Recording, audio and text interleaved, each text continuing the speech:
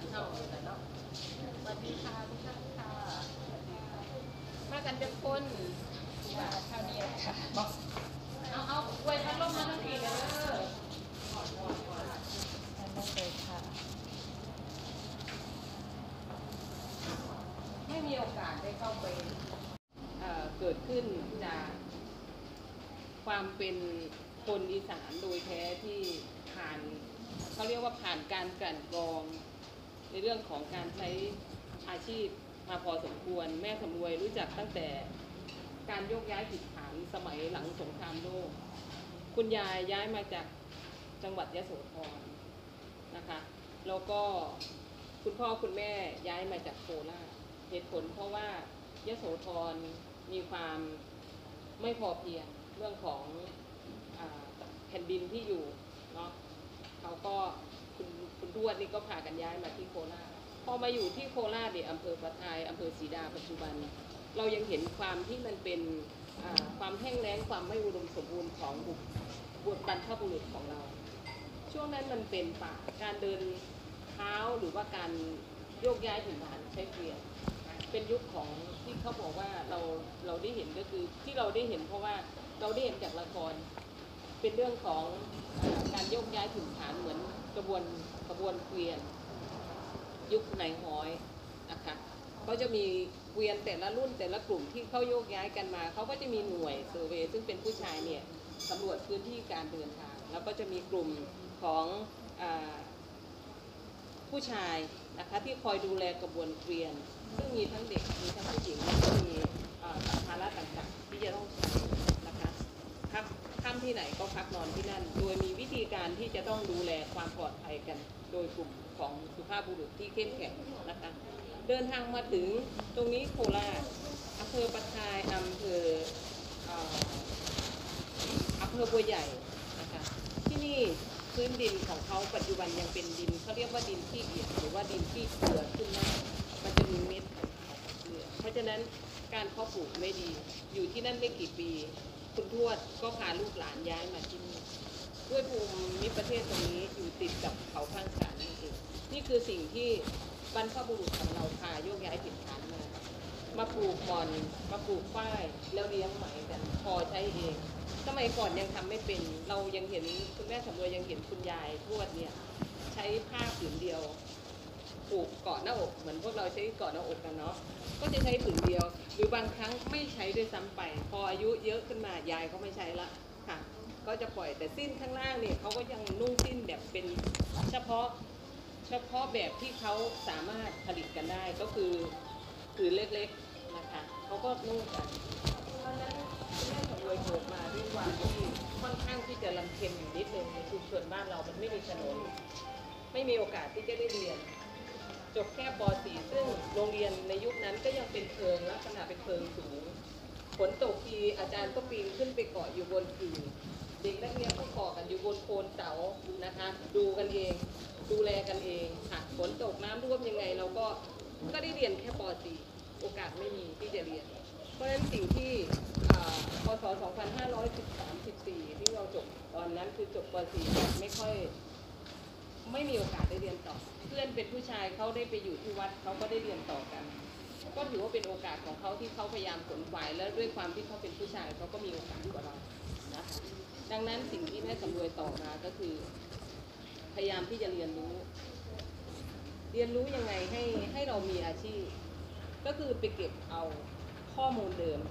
เก็บเอาภูมิปัญญาเดิมที่พ่อแม่ของเราผ่านทางมาเขาจะทอผ้าโดยใช้เองให้ลูกหลาน คนในครอบครัวใช้ทอแล้วเอาไว้ให้ปลูกดองกัน หมายถึงว่าพอมีมีดองลูกแต่งงานก็จะมีผ้าเนี่ยเป็นของรับไหว้อะไรต่างๆนะคะ เป็นทั้งผ้าไหมผ้าป้ายหน้าตอนนั้นก็เลยเราก็หยิบจับเอาเรื่องเก่าๆที่แม่ใช้สีธรรมชาติจากเปลือกนุ่น แม่ใช้แก่นขนุน แม่ใช้เปลือกไม้ ใช้ใบไม้บางส่วนเนี่ยมาย้อมไหมมาย้อมป้าย ด้วยความที่ไม่มีโอกาสได้เรียน แม่ของรวยก็ทำนาแล้วก็ค้นคว้าเรื่องนี้ด้วยหยิบจับมา แล้วก็มีโอกาสเมื่อปีพศ 2548นี้ได้มีโอกาสได้เข้าไปอบรมหรือว่าไปเรียนรู้จากกลุ่มของคณาจารย์ที่อยู่ราชพัฒเขาใช้ดินลูกลังเนี่ยมาตอมามาตำแล้วก็ย้อมเส้นไหมให้ดูมันเกิดประกายแห่งแห่งแห่งไอเดียของเราขึ้นมาว่าเออบ้านเรามันมีภูเขา บ้านเรามันมีดินที่แปลกอยู่ ดินของบ้านเราก็คือดินเขาดินแดงซึ่งมีดินสีส้มที่แม่สำรวยจะนำพาพวกท่านลองอัดมัดย้อมด้วยกันว่าสีที่เราจะทำเองผ้าที่เราจะมัดเองวันนี้เนี่ย แต่ละท่านจะมีไอเดียอย่างไรบ้าง ส่วนแม่บ้านของเราก็จะเป็นผู้ช่วยนะคะ เราจะมัดผ้าปักด้วยดินภูเขาไฟ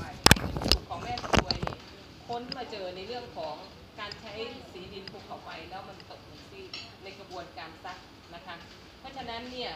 แม่สำรวยก็ต้องคิดต่อว่าเราจะใช้อะไรมาเป็นตัวช่วยเป็นตัวกระตุ้นให้สีของดินภูเขาไฟนี่ติดอยู่กับผิวผ้าของเราได้นานขึ้นจริงๆแล้ววิธีการจากที่การทดลองมันจะต้องใช้ย้อมกับเส้นไหมเส้นป้ายเท่านั้นด้วยความไม่สม่ำเสมอเวลาเราออกมาทอนี่มันจะเกลี่ยกันไปเนาะความสม่ำเสมอมันจะเกิดขึ้นโดยอัตโนมัติ หรือไม่ก็ยังมีลูกค้าหรือว่ายังมีนักท่องเที่ยวที่เข้าใจว่าวิธีการจะทำงาน handmade ตัวนี้ แล้วการใช้สีธรรมชาติตัวนี้ ไม่เคยหยุดนิ่งอยู่ที่หนึ่งร้อยเปอร์เซ็นต์มันจะต้องมีความเปลี่ยนแปลงไม่ว่าจะเป็นเรื่องของดินนะพื้นที่ตรงนั้น ลึกลงไปไหมหน้าดินเท่าไหร่เปลือกไม้เป็นยังไงแก่หรืออ่อน หรือว่าเป็นช่วงหน้าฝนหรือว่าเป็นช่วงหน้าแล้ง หรือแม้กระทั่งน้ำหรือสภาพอากาศที่เราจะต้องดำเนินกิจกรรมนี้ล้วนแล้วแต่สร้างความเปลี่ยนแปลงให้กับสีธรรมชาติทั้งหมดทั้งสิ้นนะคะเพราะฉะนั้นแม่สำรวยจะไม่ได้แคร์ใด ๆ ในเรื่องของอใครจะวิจัยหรือว่าใครจะให้ความรู้ในเรื่องของการบล็อกสีบล็อกดินอะไรต่างๆ เพราะมันมีความแย้งของมันอยู่ มันมีความผิดพลาดที่เกิดจาก หรือว่ามันมีความเปลี่ยนแปลงที่เกิดจากความรู้ภูมิปัญญาที่เราสร้างขึ้นมาแล้วเราสังเกตเราสงเคราะห์แม่สำรวยก็จะจะแย้งกับอาจารย์หลาย ๆ ท่านว่า การบล็อกดินก็คือได้ แต่การผสมส่วนของน้ำของยางไม้ มันก็สร้างความแตกต่างอยู่ดี เพราะฉะนั้นมันก็มีความไม่สม่ำเสมอ เหมือนที่เขาบอกว่าความไม่แน่นอนคือความที่แน่นอน นี่เป็นนี่เป็นข้อคิดหนึ่งที่แม่สำรวยได้ได้เก็บมาวิเคราะห์แล้วก็จดจำที่จะเล่าเล่าให้กับพี่ๆน้องๆนักท่องเที่ยวที่เข้ามาเยือนได้รับฟังนะคะ ดังนั้นวันนี้เนี่ยเมนูอาหารที่ที่ที่ฝากฝากท่านทานเป็นอยู่ก็จะเป็นบริบทของการต้อนรับนักท่องเที่ยวส่วนหนึ่งนะคะ ที่แม่สำรวยลองให้แม่บ้านของเราน่ะทำขนมกัน ซึ่ง อันนี้ก็จะเป็นแบบกลางๆ แต่ว่าน้ำมะตูมนี่คิดว่า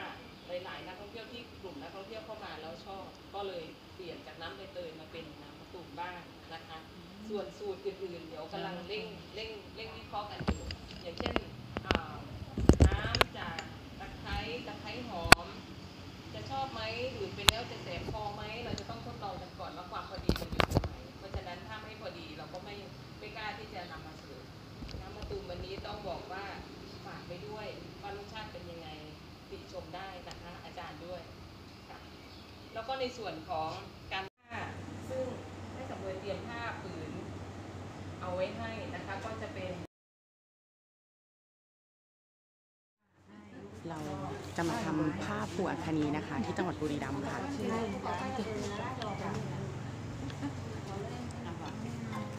แล้วก็ใส่ถาดข้าวซอยเป็นมัดแล้วทำเป็นอัไรนนี้ด้เป็นวลายยอะไรคะที่ เป็นแนวเส้นตรงนะคะลายเชือกอันนี้สักแล้วโอเคค่ะ อันนี้ลายดอกไม้กับกับ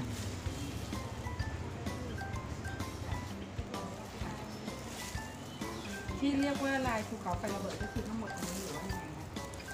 ภูเขาไฟระเบิดผู้เขาไฟระเบิด ก็อย่างที่ย่ามัดนั่นไง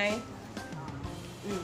อะงั้นสาธิตของการทำลายแต่ละลายได้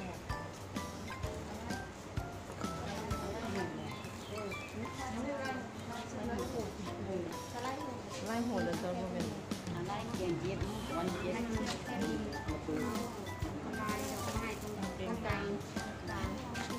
ว่าดาวก็พับพับพับเลยแล้วพับกลางทำไมต้องซื้อตัวรวมมาตอนนั้นพับพับเอาสองสามโอ้หลังไปกินข้างในร้านยายเหลิมดูทรงเก้าเลยใช่ไหมเ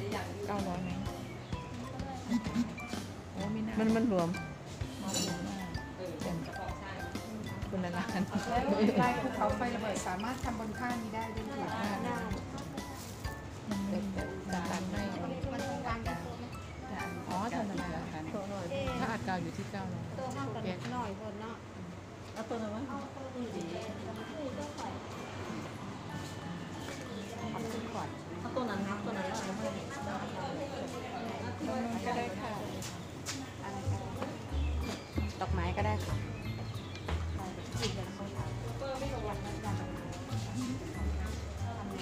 เราต้องพักก่อน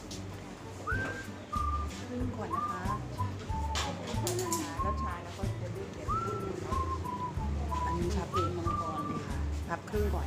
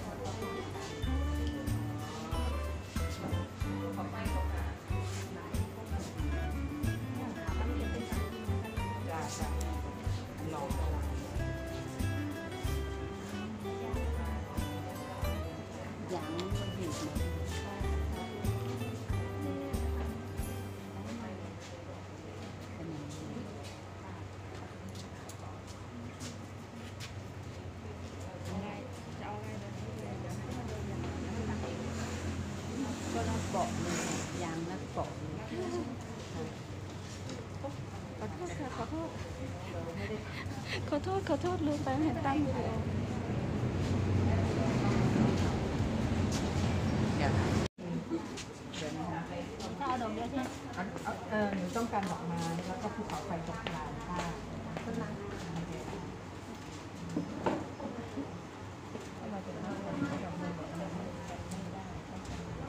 ภูเขาไฟก็คือ จะเป็นดอกเหมือนเมื่อกี้นะคะ อ่าฮะ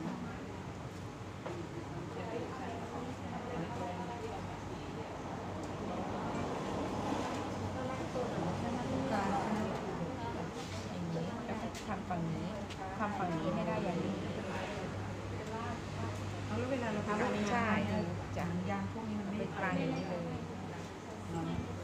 เท่ากับไปแสดงว่าองศาแล้วก็กลับมาใช่แค่นั้นแหละแล้วถ้าเป็นไงล่ะคะมันก็เนี่ย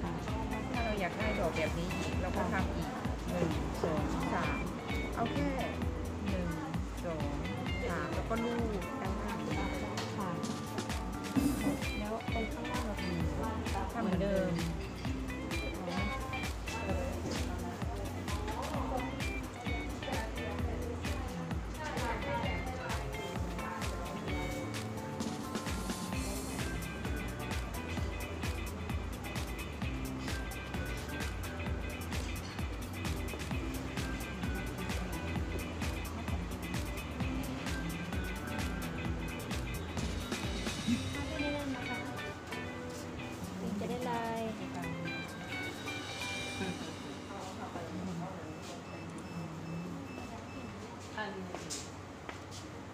น้องก็เลยมากินน้ำเด้อค่ะเด้อหาวิธีที่บางก่อนท่านเป็นผู้บ่าวคุณผู้บ่าวคนเดียวในคณะเลยค่ะในทีม เออมีคอนเสิร์ตอยู่อั นนี้ข้างบนใช่ไหมคะบนตรงกลางข้างบนแล้วก็ตรงกลางหนาแล้วเราอยากให้กลิ่นสีเราอยากให้กลิ่นสีเยอะๆเหมือนเดิมค่ะเหมือนเดิมลองทำดูค่ะก็เด็กที่บ้านเขาทำเก่งเลยค่ะเรานานๆทีจับที